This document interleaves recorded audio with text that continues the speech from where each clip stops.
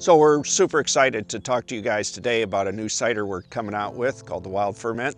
This cider has been a while in the making. Uh, we have been messing around growing cider specific varieties for about five years now. And it's taken us a while to figure out what works for our environment. So what, what grows well as a tree here.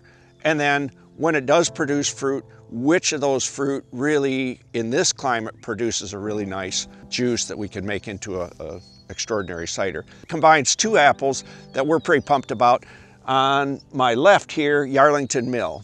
It's a British variety, uh, pretty old school, and it's got really rich kind of breakthrough tannins, pretty aggressive tannins on this thing really, um, but it delivers a really full flavored uh, tannin punch to it.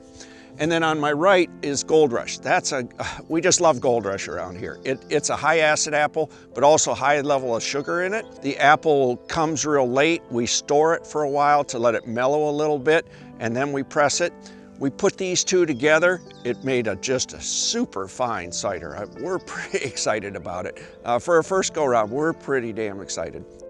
This is 2019's harvest in a can, using apples, grown just a couple hundred feet away, pressed just a couple 10 feet away, and left to ferment with the yeast from the orchard from when it was harvested. This is our first introduction um, for Yarlington Mill that's grown on our orchard, which is a UK variety, as Paul mentioned, very cider specific. This is not an apple you're gonna wanna eat, but it lends itself beautifully to an off-dry cider like this that cuts through a little bit of sweetness that we have up front with a pretty aggressive tannin, I would say, but again, we balance it out pretty well. So after our harvest staff uh, picks our, our apples here, when we're doing a, a, product like this, we'll go ahead and press it after it matures for um, a couple months, depending on, depending on when we actually pick it. After pressing, we put the juice into IBCs and honestly just let it rest. The environment uh, has yeast uh, throughout the air and on the orchard, and that yeast will go ahead and start our fermentation process.